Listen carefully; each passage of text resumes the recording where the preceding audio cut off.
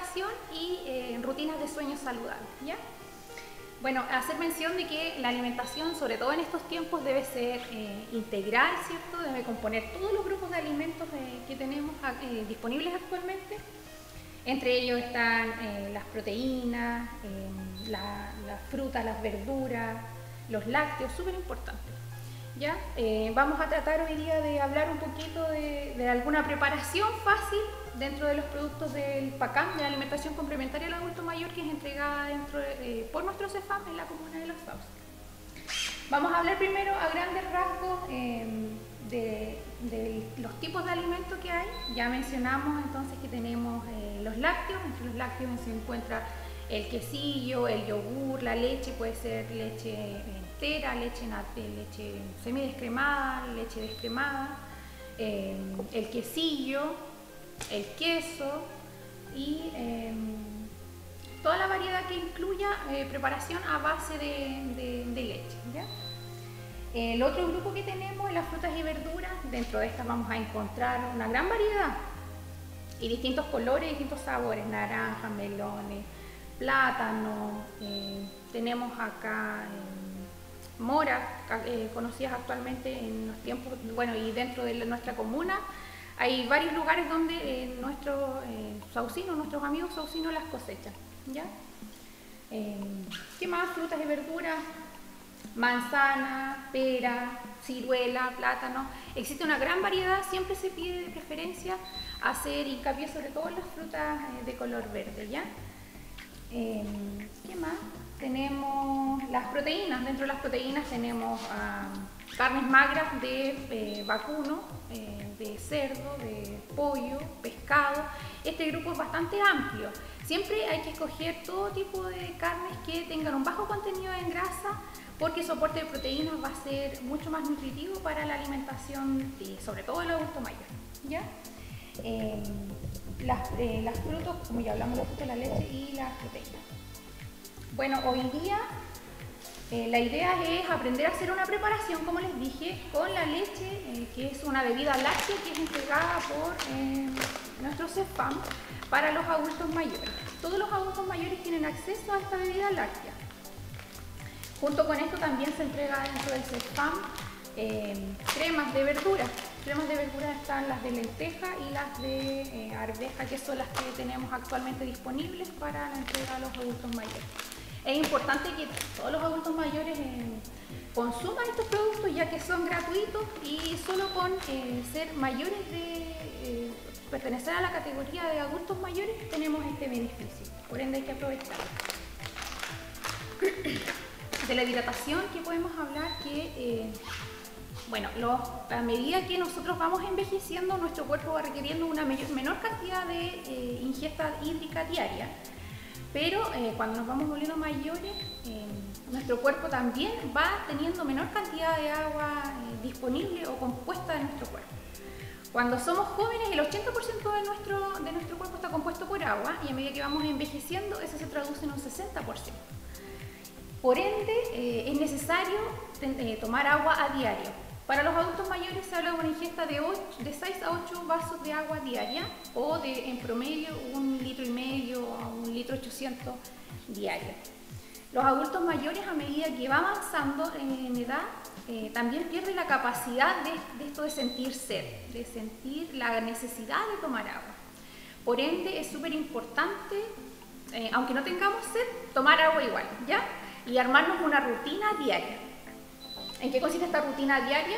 En la mañana levantarnos, tomamos un vasito de agua, eh, pueden ser un vasito similar a este, de unos 200 cc diarios. Después a media mañana nos tomamos otro vasito, después a la hora de almuerzo otro vasito, después cuando estemos entre las 2 y 3 de la tarde nos tomamos otro vasito y así vamos sumando diariamente a esta rutina que vamos a armar de hidratación adecuada. La idea es que mm, al final del día logremos completar esta, ingesta total de un litro y medio aproximadamente. Como les mencioné, los adultos mayores tienden a perder esta sensibilidad, esta sensación de tener sed. Por ende, si yo no tengo sed, si soy adulto mayor, igualmente tengo que tomar agua, ¿ya? Eh, ¿Qué más? Comentarles que se pide y, generalmente esto es en beneficio de evitar la micción eh, nocturna que la ingesta mayor sea en el horario de la mañana, entre las 9 de la mañana, a la hora que nos levantamos, hasta las por lo menos 4 o 5 de la tarde, que sería como un margen de horario máximo, digamos, donde podemos estar tomando agua constantemente. A medida que va eh, oscureciendo, no está llegando ya más la tarde, la idea es que esta ingesta se haga un poquito más lenta porque recordemos que si tomamos agüita lo más probable es que nos van a dar ganas de ir al baño más recurrentemente. En los adultos mayores eh, la idea es que la micción no se produzca durante la noche porque así afectamos de una u otra manera eh, este, estas ganas de, dormir, de, conciliar el sueño, de descansar bien. Levantarnos en la noche siempre va a producir que eh, rompamos el ciclo del sueño. ¿ya? del sueño es súper importante mencionar que a medida que vamos envejeciendo también se va produciendo un descenso en el tiempo en que yo, que yo necesito descansar. Cuando somos eh, jóvenes o cuando, somos, cuando estamos partiendo en el ciclo vital de bebés, por lo menos promedio se duermen de unas 12 a 14 horas diarias. Cuando ya nos vamos eh, tornando un poquito más adultos, ¿cierto? Este promedio va entre 9 a, 10 horas o de 7 a 8 horas diarias. Pero en los adultos mayores hay una gran diferencia que eh, cada vez van durmiendo menos, ¿ya? Esto es porque con menos cantidad de, horas de, sueño, digamos, ellos tienen un sueño un poquito más reparado. Se habla en promedio que son entre 5 a 6 horas que un adulto mayor requiere de sueño efectivo que tampoco es tan efectivo, ¿ya? Porque em, el adulto mayor eh, no pasa por todas las fases del sueño que existen para eh, tener un descanso total. Eh, dentro de las fases del sueño que podemos nombrar, como les dije, tenemos cinco fases del sueño, de las que no, de las que el adulto mayor no pasa por todas y cada una de ellas. Bueno, la fase 1 de qué habla? De como este adormecimiento, cuando yo empiezo a, sentir mi cuerpo pesado, mis brazos pesados, pero todavía no estoy en fase de sueño. Luego viene la fase 2 que es como un sueño ligero. En este sueño ligero yo siento lo que está pasando a mi alrededor. Eh, es como más o menos la, la, primera media hora desde que yo eh, empiezo a dormir hasta, hasta que ya estoy entrando en esta fase de sueño ligero. Todavía estoy escuchando el murmullo, la gente que está hablando a mi alrededor, sé lo que está pasando. La fase 3, este es un sueño más profundo. Eh, aquí en esta parte disminuye la temperatura corporal, por eso de repente cuando ya estamos quedándonos dormidos sentimos esta sensación de frío, ¿cierto? Porque la temperatura corporal baja y también la respiración empieza a disminuir. ¿Sabes? Quiere decir que yo ya estoy entrando en esta fase de sueño un poquito más profundo. Luego viene una fase de sueño que se llama sueño fase 4, que es el sueño muy profundo. En este sueño eh, empiezo ya a relajar mis músculos, ya no estoy tensa, ya no siento esta sensación de frío, ya no escucho a mi alrededor qué es lo que está pasando y ya estoy empezando a entrar a la fase de sueño que es la fase 5 que es en donde se produce el sueño efectivo, ¿ya? En esta fase 5 yo eh, tengo sueño, yo me acuerdo el día después, digamos, que soñé con tal cosa, que me pasó algo, ¿cierto? Entonces la idea es que eh, siempre lleguemos, que el sueño efectivo se produzca cuando nosotros lleguemos a esta fase 5. En promedio se habla que llegamos a esta fase cuando estamos en las dos horas y media desde que nos acostamos hasta que ya entramos en la fase de sueño. Bueno, los adultos mayores lo que pasa con ellos es que como duermen en menor cantidad, se despiertan eh, por el ruido ambiental, porque tengo ganas de ir al baño, porque tengo hambre, porque me dio un calambre o por cualquier cosa, el sueño tiene que interrumpirse. Entonces no alcanzamos a llegar a estas dos horas y media de, sueño para llegar al sueño profundo. Entonces el sueño se vuelve a reiniciar una y otra vez. Se habla que los adultos mayores eh, despiertan unas cuatro veces en promedio todas las noches. Entonces por eso no se logra llegar a esta fase de sueño profunda.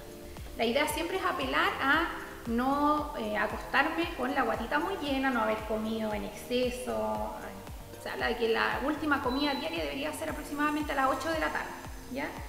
De ahí para allá la idea es tomar algo livianito, tomarnos una lechecita eh, tibiecita con la mitad de un pancito sería idealmente, no abusar, no tomar bebidas gaseosas, no beber alcohol después de las 8 de la tarde porque va a impedir que yo logre llegar a esta fase de sueño profundo.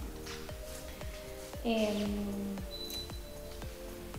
como les dije, a medida que, van avanzando los años, ¿cierto? Nos vamos, nuestra capacidad de, llegar a este sueño profundo se va a volver cada vez más difícil de lograr y por eso tenemos que tratar de eh, ayudarnos de todo lo que tengamos a nuestro alrededor. Como les dije, em, tratar siempre de armar una rutina, ¿ya?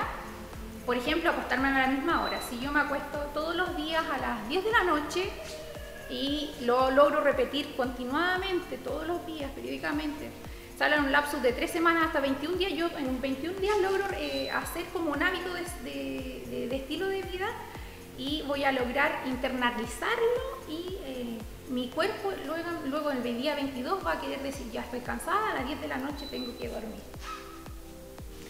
Eh, siempre tener presente que la cama eh, es mi sitio de descanso, ¿ya? Evitar estas siestas en el sillón o recostarme sobre la mesa o cuando estoy en la silla empezar como a dormir. Principalmente hay que tratar de evitarlo eso porque el cerebro asimila que el sillón es el sitio de descanso. La idea es que siempre estemos dando órdenes y diciéndole al cerebro que solo el sitio de descanso es la cama y ahí es donde vamos a lograr este sueño efectivo. Como les mencioné anteriormente, se debe cenar ligero como máximo, eh, la última comida debería ser hasta las 8 de la tarde, que es la cena, y eh, no tomar medicamentos que vayan a alterar mi eh, capacidad de, descansar o conciliar el sueño oportunamente. también, bueno, la idea es que hoy día aprendamos a hacer una preparación en base a esta bebida láctea que es entregada en el CEFAM en todo Chile, ya este es un programa que eh, está desde, desde, Arica Punta Arena y eh, todos los adultos mayores tienen derecho a recibir esta alimentación. La idea es que aprendamos a preparar con un vasito de leche, con esta bebida láctea vamos a llenar con agua tibia nuestro vaso hasta eh, más o menos tres cuartos de la capacidad y vamos a poner de dos a tres cucharaditas de esta bebida láctea y ahí ya tenemos eh, un lácteo del día, ¿ya? Con esta misma bebida, si yo me la puedo tomar así solita o con esta misma bebida, eh, puedo también apelar a hacer una bebida de, bebida láctea una leche de eh, leche con plátano. ¿Cómo lo hacemos? Tomamos un plátano, lo ponemos en un platito, lo molemos y eso después se lo agregamos a nuestra preparación de mm, leche con plátano. ¿Ya? Bueno, ahora vamos a continuar tratando de armar una comida ideal desde el desayuno hasta la, la once o cena. Cena, once. idealmente uno habla de que deberían ser cuatro comidas diarias, ¿ya? Pero de repente en todas las casas no está esta costumbre de establecer estas cuatro comidas, sino que es eh, desayuno, almuerzo y once. Preferentemente hay que tener la cena porque este aporte nutritivo adicional que nos otorga la cena nos va a lograr descansar eh, durante toda la jornada de la noche, porque la cena debe ser un poquito más ligera. Bueno, ¿cómo armamos nuestro desayuno ideal? Bueno, o si no, con lo que tenemos en la casa, ¿ya? Acá yo tengo un vasito de leche, preferentemente, con nuestra bebida eh, de años dorados, entregada por nuestro cefa, con un pancito. Bueno, la mamita o la abuelita, dueña de casa, que eh, prepare su propio pancito, idealmente se habla de una rebanada que cubra en la porción de mi la palma de mi mano, ¿ya? Esa sería como una rebanada ideal. Al igual que la porción de carne. Siempre va a ser como la palma de mi mano lo que yo requiero eh, nutricionalmente día para el día. Entonces el desayuno tenemos un vasito de leche, el pan lo podemos acompañar con margarina, con paté, con eh, mortadela jamonada, idealmente eh, baja en grasa. Se prefiere la de pavo porque es un poquito más sana. con mantequilla, con queso, con mermelada, con lo que tengamos en la casa podemos armar nuestro desayuno ideal. Entonces tenemos el vasito de leche más nuestro pancito con una mermelada y a eso le podríamos agregar una fruta. Eh, anteriormente lo mencioné, el consumo de frutas y verduras idealmente debe ser de 5 porciones diarias entre las frutas y las verduras. Entonces al desayuno podríamos agregar una manzanita, una ciruela, una pera, lo que es la fruta que esté disponible en la estación, porque no siempre vamos a tener estas frutas disponibles todo el año. A media mañana nos podríamos comer otra fruta, puede ser una ciruela o un, par de moras como las mostré anteriormente, en unidades, unas 10 unas 10 moras, eh, digamos como porción. ¿ya? A la hora de almuerzo, ¿qué debe contener nuestro plato? Siempre debe estar acompañado de proteína. Eh, a esta proteína le podemos agregar un carbohidrato, que en este caso pueden ser fideos, ¿ya? Y eh, también debemos agregar una ensalada. Acá yo tengo brócoli, tengo ensaladita de choclo, tengo ensaladita de arveja. ¿ya? Eh, a este plato le vamos a poner choclo, por ejemplo. Ya yo tengo mi platito que contiene todo lo que yo necesito para el almuerzo. La proteína, el carbohidrato y mi ensalada. Que ahora yo puse choclo. Bueno, el choclo igual nos va a aportar harta, harto carbohidrato, ¿ya? Pero en este, en este plato lo estamos utilizando como ensalada. A esto le vamos a agregar una porción de jugo, idealmente que no sea eh, demasiado azucarado, ¿ya? Porque eh, debemos recordar que los adultos mayores tienden a tener varias enfermedades crónicas, por ejemplo, diabetes, hipertensión, y hay que restringir el consumo de sal y de azúcar. Las bebidas eh, la podemos preparar nosotros mismos en casa con alguna fruta que ya, digamos, esté pasando su vida útil y para no perderla, la utilizamos transformándola en un juguito natural. Que no le podemos agregar endulzante, eh, unas 5 gotitas más o menos para esa porción. Ya ya tenemos el almuerzo. Después, a la hora de 11, lo podemos acompañar con un vasito de una tacita de té, con eh, una porción de eh, pancito, puede ser integral o pan blanco, y si no, el pancito amasado que prepara ¿cierto? en su casita, y eso lo podemos acompañar con cualquier embutido, puede ser eh, jamón, puede ser quesillo, queso, paté, mermelada, lo que yo tenga a mano en mi casita, en mi despensa. Y en la cena, bueno, en la cena le vamos a hacer promoción a esta crema de verduras, que también es entregada por el CEFAM, ¿cierto? Eh, de muy fácil preparación, esto se pone, eh, colocar una taza de agua recién hervida en un plato, se espolvorean dos medias rasas o cinco cucharadas soperas colmadas de esta crema y hay que batir hasta lograr una consistencia de crema. Y listo, tenemos nuestra cena de la tarde. Esto lo podemos acompañar eh, con unos crutones, los crutones es fácil de hacer, con el mismo pancito que tenemos en casa, lo cortamos en pedacitos y los podemos saltear con un poquito de aceite en la, la sartén y eso se lo ponemos encima a, nuestra cremita de sopita de años dorados. También le podemos espolvorear unas verduritas, eh, no sé, cilantro, lo que tengamos en casita o que nos pueda vender nuestra vecina del lado, ¿ya? Y ahí tendríamos prácticamente cubierta toda la alimentación del día. Entonces, desayuno, almuerzo, once y cena. Como les dije, preferentemente deben ser estas cuatro comidas diarias no olvidar la importancia de estos 6 a 8 vasos diarios de eh, agüita, preferir siempre el agua, ¿ya? Las infusiones, el té, también nos van a aportar eh, agua, que es lo que estamos buscando para mantenernos hidratados, pero eh, cuando ya le agregamos azúcar a, estas preparaciones, como yo les dije anteriormente con la preparación de, la fruta, un jugo natural, eh, tendemos a, disminuir un poco el aporte de ingesta hídrica que nos podría dar efectivamente ese vaso. Entonces siempre evitar el exceso del consumo de sal, el exceso de consumo de azúcar, ¿ya? que eh, como sabemos los adultos mayores y como les mencioné también antes, eh, son portadores de múltiples patologías, en su mayoría todos son hipertensos o todos son diabéticos, o la mayoría diabéticos. Eh, todos saben cuáles son sus cuidados, entonces tratamos de evitar este, el exceso consumo de sal y azúcar. Bueno, y para cerrar esta cápsula, quiero eh, recordarles la importancia de todo lo que hemos hablado hoy, que hay que mantener una muy buena alimentación, estas cuatro porciones de comida diaria, una buena hidratación que incluye de 6 a 8 vasos diarios o un litro y medio o, bueno, de preferencia, si fuera más de un litro y medio, llegamos a los dos litros, sería idealmente. Y, em, y el sueño, súper importante, la calidad del sueño que estamos manejando, sobre todo en estos tiempos donde estamos escuchando constantemente en las noticias lo que está pasando, digamos, a nivel nacional y a nivel mundial. Em, darle la tranquilidad a, a nuestros adultos mayores, sobre todo a nuestros adultos mayores saucinos, que em, esta situación de salud que estamos viviendo la debemos afrontar todos, cuidándonos, eh, respetándonos a nosotros mismos, respetando a la gente que está a nuestro alrededor, teniendo siempre la precaución de no salir eh, afuera si no es estrictamente necesario. De esta manera nos cuidamos todos y logramos superar la pandemia de una mejor manera. Me despido y espero que nos veamos en una próxima cápsula. Les mando saludos y besitos. ¡Chao!